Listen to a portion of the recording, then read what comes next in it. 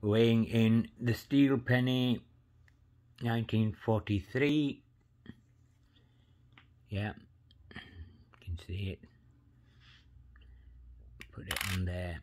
Zoom in. Weighs in 2.79 1943D this is a steel penny okay another one. Steel penny again. Weighing in at 2.71 steel penny 1943 without the D. Yeah take that off. Then the copper penny weighing in at 3.13 copper penny is slightly heavier 1943D yeah. And take that off weigh the other one. That weighs 3.06 slightly less for some reason 1943D copper brass penny. Okay, so that's that. This one is a 1919 S weighing in at 3.09. This one is gold plated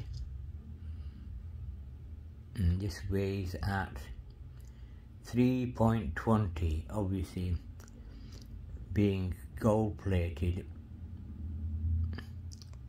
1958D so it's gonna weigh more. There's one here. This one is weighing at 2.49 and it is a 2002 yeah one cent weighing less. And this one is a 1959D weighing in at 3.10 Okie dokie. Let's weigh this other one, whatever that is. This one is a 1920, weighing in at 306. Yeah. These are copper ones. You can tell by, I put the copper one, two coppers and two steels on there. Okay, zoom out. Put the two copper 1943 and two steel ones 1943. Yeah, weighing in at 11.71. That's four coins.